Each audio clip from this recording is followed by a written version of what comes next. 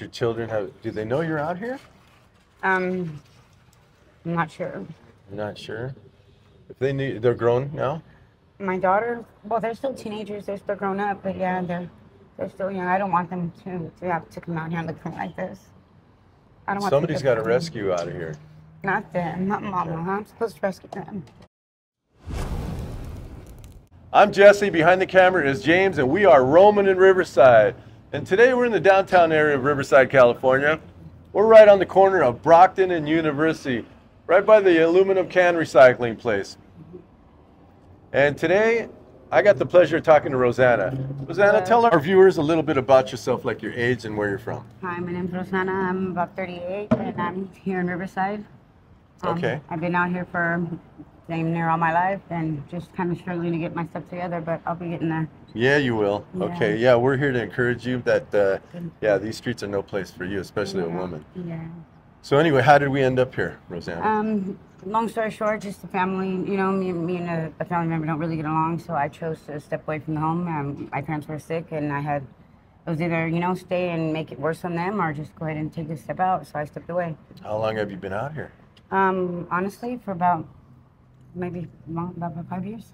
Five years, man. Yeah. Is it know, dangerous out here for a woman? I mean, yeah, it can be, but I mean, you just gotta find a good, you know, find someone and just stick with them, kind of a thing. It's, it's better when you have somebody with you. Yeah. Because on your own, it kind of sucks. Yeah. I mean, in five years, you've probably seen some dangerous stuff out here, huh? Yeah, I've seen quite a bit. Yeah, Yeah. yeah. But I mean, I just keep pushing. Okay. Yeah. How old are you again? 38. 38. So you've worked before in your life. Yeah, I have. Yeah. I what was, have you done? Tell our viewers. I was a nurse. I was um, a medical Really? assistant, actually. Yeah, I ran two offices for a doctor. Oh, man. Yeah. Your family knows you're out here? Yeah. And, and they're okay with that? Well, I mean, they, my parents are both sick. Both of them had strokes. One's, Mm. My mother's back in diapers. She doesn't move. She's bedridden, and my father's paralyzed from the left side. So, um, I kind of, I don't want to cause more stress. So I just stepped away. Me and my older sister don't get along. Mm. So she, every time I go to the home, she makes it hard, and I can't argue, and I'm not going to kill my parents. So I walked away. Oh, man. Yeah. Wow, you're too good for this. Do Yeah. do you lose hope out here, Every you? day, yeah. Do you? Well, keep your head up, man. There's a there's a lot of people that we have success stories. A lot of people that have been pushing grocery carts. I don't see mental illness in you. Yeah. These people had had mental illness and they mm-hmm. recovered. Tell us, what do you do during the day? Well, I recycle right now. That's why I'm, I'm trying to earn my money, so I'm recycling, and then I just go and try to, you know, just keep my day busy, whatever, helping people, you know, finding friends that need help or whatever. Just, you know, Do you get any EBT or anything? I don't. You don't? You have you checked into that? I have, but um, I guess I have. They say I have some misdemeanor warrants from some from years went back. That's kind of stopping me from getting that. So, So what is this lunch right here? well, I just got this from some guy right here. Yeah, it's all my breakfast. yeah. Well, we got to do something about this, Rosanna. Mhm. Your name's Rosanna? Yes. Our viewers out there, we're right on the corner of Brockton and University. If anybody finds it in your heart, Rosanna does not belong out on these streets over here. Now, tell us this, Rosanna. Are you're willing to work, right? Yeah, of course. Okay. Yeah. Any of our viewers out there, because we got business owners that watch our channel. Yeah. Any of you guys, if you're in the Riverside area, you got a prime candidate to get off the streets. She is our candidate of the day to get off the streets, guys. We'd really appreciate if you came by and gave her some words of encouragement, gave her maybe a job or a little bit of employment would be great, guys. But uh, tell us this, uh, Rosanna, do you have any plans of getting off the streets? Yeah, I do. I want. to. I mean, I want to go back to work. I, oh, I would love to go back to work. Yeah, I need to keep me, keep me, keep me, you get my head right, keep me busy. Yeah. Yeah, go back to being, you know, productive. Yeah, it was so hot yesterday. It was really hot. and the days, yeah. yeah, how are you keeping cool?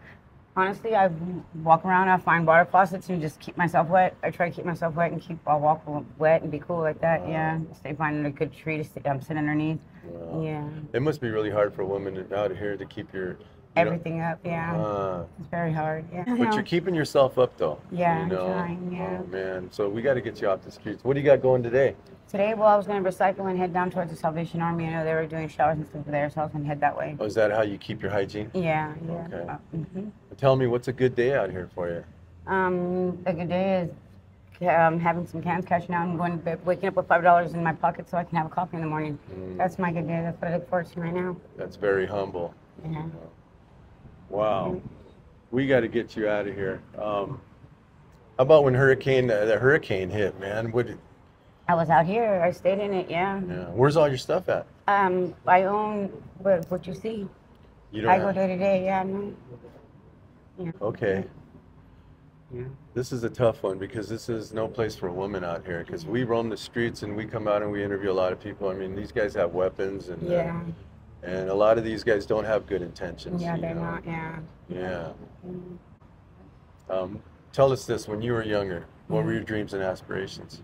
I wanted to help people, and I went. I wanted to get a job. Like I went into nursing, so I wanted to help people. I, I believe in people and the body, and it, it's very miraculous the things it can do. So I wanted. I, I achieved that dream, Okay. but now I, I, I want to go to for little kids. I want to go to preschool, being a preschool teacher, or teacher's aide, or something like that. Now. Well, you can still do that. Yeah, Is it- Is it hard out here? it's really hard. Yeah, it's hard keeping yourself straight and keeping yourself with a good heart because it can make you cold. Yes, It make yes. you really cold out here. And I see a lot of mental illness out here. I don't see that in you. Yeah, no, I'm trying to keep my head straight. Thank yeah. God. We want we want you to stay away from that. Yeah. So tell us this though. What, when you were a little girl, what'd you dream of? Um, honestly, I don't know. I don't remember. I can't tell Really? you. Yeah. How was your childhood? Um, it was okay, I guess. You know, like I, I, I was kind of, you know, I'm, a, I'm a, I was, it was alright. You got Yeah. married? Have you been married? I have, but um, yeah, I was married. I have two children. They're not with me, of course. Um, it's long story. It kind of hurts to still. Yeah, So, I can yeah. tell that. But your children have? Do they know you're out here? Um, I'm not sure. I'm not sure. If they knew, they're grown now.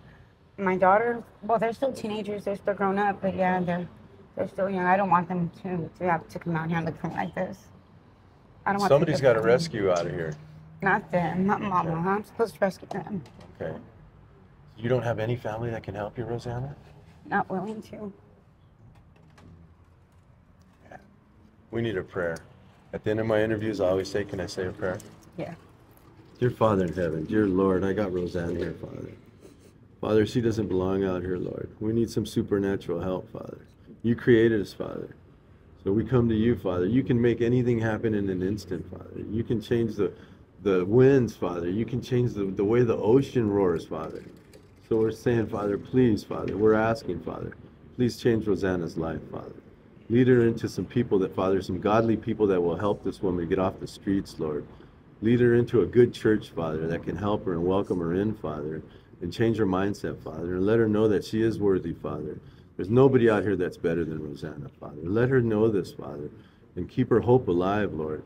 She's crying, Father, and, and she shouldn't be, none of your children should be out here crying in the streets, Lord. So we're asking for your help, Father. Get Rosanna off the streets. That's my plea to you today, Father. I want to intercede for her, Father, and I'm coming to you, Father. And I'm asking humbly, Father, help this woman, Father. Help her. I pray all this in your Son Jesus' name. Amen. Thank you. Yeah. Thank you very much. All right. I'm Jesse. Behind the camera is James. We're here with Rosanna. We're downtown Riverside. We're roaming in Riverside, and we are out.